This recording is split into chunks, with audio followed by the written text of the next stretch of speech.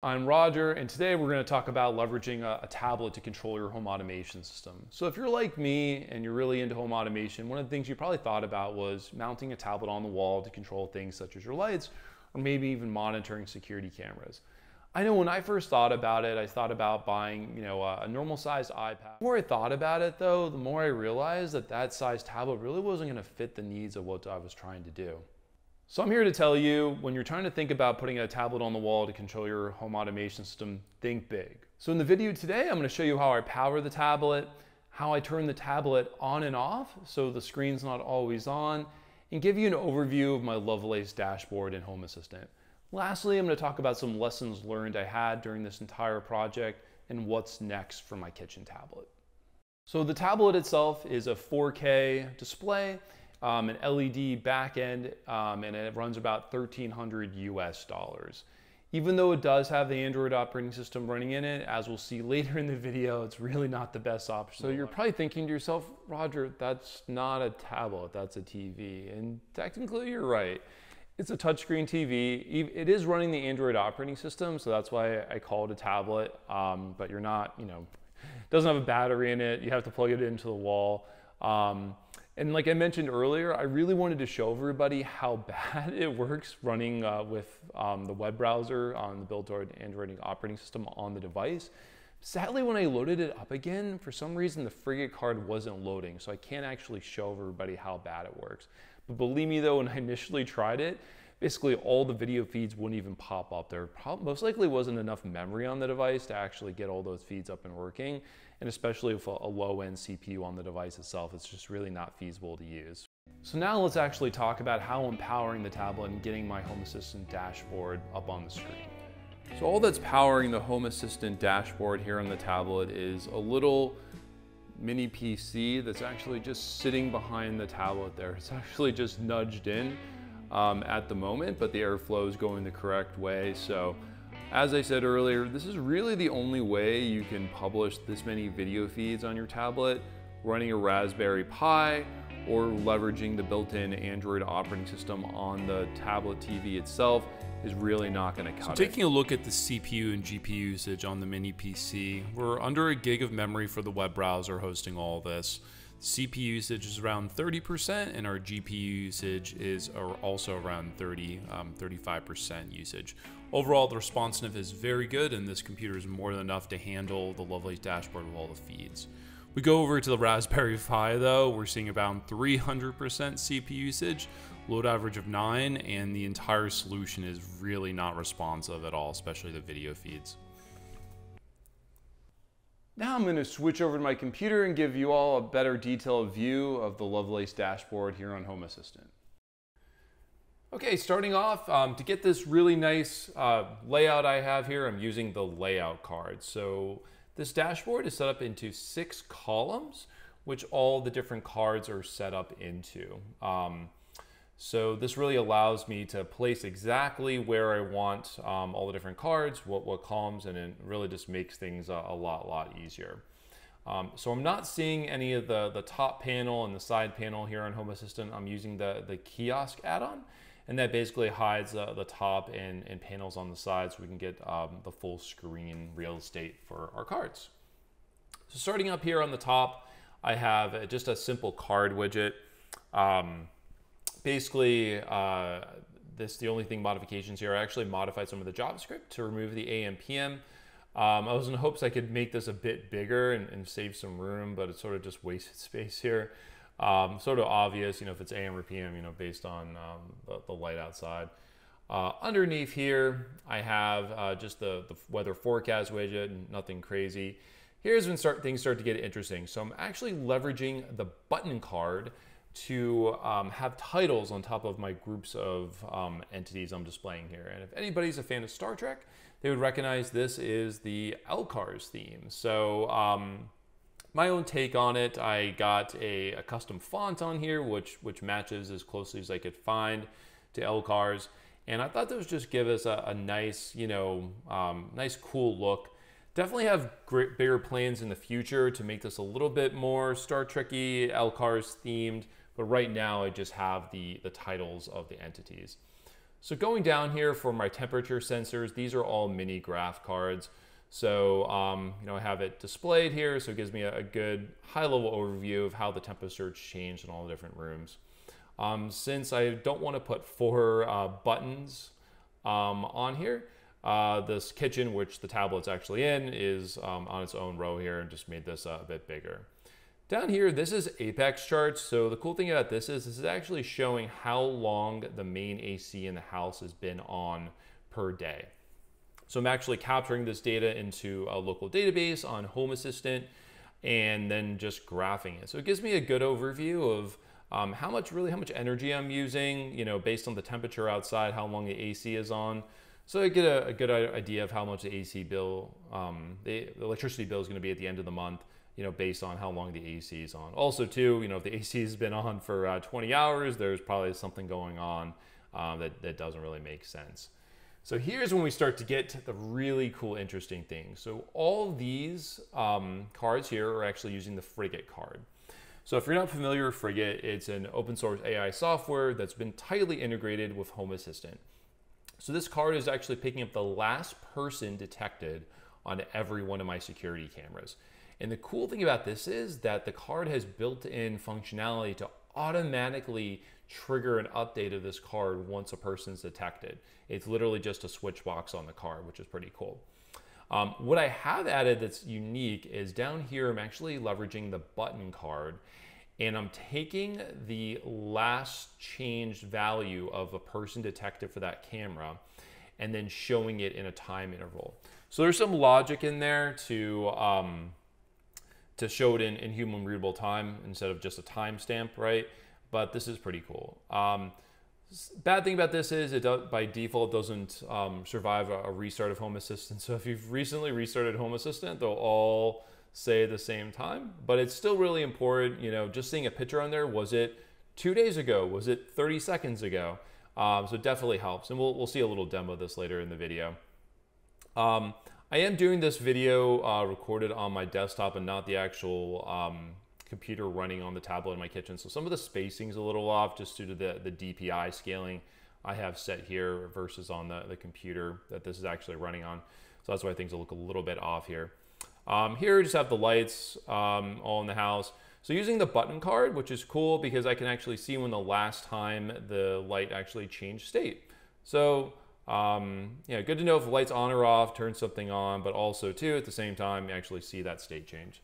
Same thing with the door. Um, it's nice to see that, that down there, see the last time any of those doors have been open. Going on next, I have a, a ring alarm integration on here. So uh, this, you know, allows me to um, arm or disarm the, the alarm system. And this is a, a custom card here to trigger my uh, KEF LS50 wireless 2 speakers. So this is actually tied into Roon, which is uh, a media software, so I can actually I have limited uh, albums on here right now, uh, but I can actually go in here and see what um, uh, songs I have on the Roon system and play on there, which is pretty cool. Uh, next, we get to majority of the dashboard here. These are basically all the security cameras um, around the house. So these are also using the Frigate card, but they're leveraging the Go RTC add-on. So what this integration does is it basically allows this RTSP feeds that come from the, the webcams to show up on our Lovelace dashboards with sub millisecond latency. So it's basically real time. Um, and overall, from a performance perspective, it works great. The only downside is that these the video feeds on these cards tends to freeze every day or so, which, which is very frustrating. So I set up a control by having another computer that's hardwired into the Ethernet um, versus the um, the uh, touchscreen tablet I have in my kitchen. And same thing is happening at the exact, pretty much the exact same time. So I know it's not an issue of it being on Wi-Fi. It's basically the Go RTC add-on. It's not very good about if there's uh, any any issue with the video feed, and it basically just sort of um, freezes the, the video, anything being displayed. Now it's easily fixed by restarting the page, but also too, um, uh, you know, a little annoying and frustrating. But the cool thing is, since these are the using the Frigate card, I can actually hover over here and actually see, you know, any last events that happen on that camera, all from the, the, the touch screen, which is pretty cool. Down here we have an activity feed. So I don't really honestly use this that much. I only have a few entities on here, but it's still pretty cool. Um, then I have a AC card here. This turns the main AC on the house on or off, um, or adjust the temperature. And these two cards down here are also using the button card. So these are basically allowing me to control the two mini splits I have in the house and show the last time they were triggered here. Um, this right over here is automation. So automations I have um, using for Frigate for basically person detection for my front yard, backyard, and this is for the garage door if it's open or, or closed. Um, these are basically, I can turn these automations off to get alerts. If I'm doing work in the front or backyard, um, I can turn those alerts based on um, I don't want to be bothered. So now I'm going to demo out what it looks like when the security system on the tablet um, actually detects somebody. So you can see in the upper left part of the screen, exited out of my front door, walking through the front driveway. So as I'm walking through all the different cameras, you can see the um, the picture elements with the frigate card on the left hand side of the live video feeds are auto updating in real time. And then using the button card underneath, I have the, the last time a person was detected on each of those cards. Now, for whatever reason, the card on the second row on the furthest left-hand side did not update, so I'm not really sure about that one. Um, but all the other runs are working, even though the uh, the time at the bottom um, got updated. So you can see it's a pretty cool system. You know, um, you can follow somebody as they walk around my property, and all the images of the last person that appeared on the camera are automatically updated instantaneously. Um, so why you see it in a sort of a widescreen versus the actual crop shot, it takes Frigate a, a, few seconds to actually do that crop, so that's why it looks a little bit different um, for a few seconds. And you can see at the back of the property, which is really dirty, um, but all the cameras um, and images for the last person detected have all been updated. The next issue came into how can I make sure this TV is not on all the time, um, and you know have some power management features on that. And basically, the first issue I came up with is um, once I plugged into the USB port to the mini PC to get touch functionality um, through the tablet, it basically put Windows into a state where it would never turn, um, never basically go into uh, a power saving mode, basically shut off the screen. Like, like so my initial fix for this was writing a PowerShell script that would actually disable um, the touchscreen uh, USB um, device on the computer itself. Then it would actually go about restarting the computer.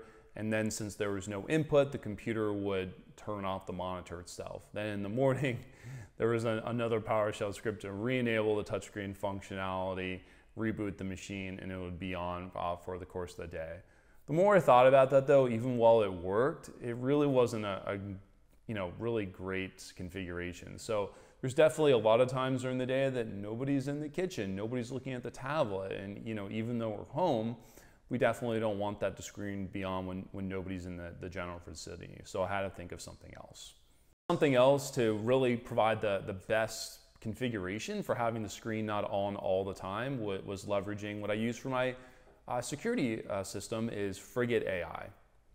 So if you're not familiar with Frigate AI, it's an open source um, software that basically does um, object detection for your uh, security cameras. So in my case, we're just doing human detection. And while normally the rest of the security cameras are recording full time, providing notifications um, for events. Um, basically, right here, we're just um, doing a simple automation. So when it detects somebody, it's actually just going to turn on the tablet remotely. So in the corner of the kitchen, I have a Wi-Fi camera hooked up to the Frigate AI system, and this is determining if anybody's entered the room and turns on the tablet. So I'm walking into the kitchen here in the bottom corner. You can actually see a feed from the Frigate AI system. Once I'm detected as a human, the Broadlink IR adapter will actually send a signal to the tablet on the wall, turning it on. Simple as that. So definitely some of the lessons learned I learned um, with doing this project is um, you really can't rely on the built-in Android tablet on any of these screens or even leverage a Raspberry Pi to, to power the device. um, you know, buying a, a, little mini computer and installing Windows or Linux on it with a, a dedicated GPU in there is definitely going to go a lot further um, if you have um, plan on putting video feeds on there.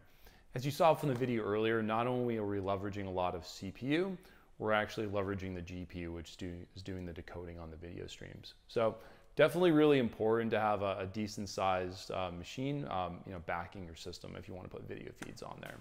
Um, another improvement um, I really want to work on is um, putting an Ethernet cable and basically um, wiring up this tablet uh, to my home network. Right now, I'm leveraging uh, Wi-Fi and I actually had to replace the Wi-Fi card on the mini PC just because it was a bit too slow if there was any spikes in some of the video feeds.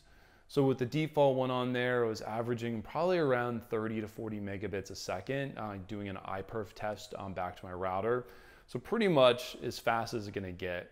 Um, there were some tweaks that I can make inside Windows to make it a little bit better, but it just didn't really cut it. So I ended up buying a, a Wi-Fi 6 card, um, putting it in the, the mini PC. I'm definitely getting around a 150 to 200 megabits a second now, way more than I actually need for the tablet but I've definitely noticed a difference. There's definitely not any any latency issues right now with, with the video streams on, on the tablet. Also too, what I'm thinking about in the future is just really beautifying the tablet a lot more. If you see right now, um, the, the, only cool thing I have on it that, that looks fairly interesting is I'm a big fan of Star Trek, so I tried to recreate some of that LCARS look for the title of some of the cards. So going forward, I, I do plan on um, improving this a lot more and trying to make it a, a little bit more, uh, you know, cool looking. Just want to thank everybody for watching my video today. Hopefully everybody learned a few things about putting a large tablet on the wall, got some ideas for your own home projects. If you have any questions, feel free to post in the comments and I'll see everybody later.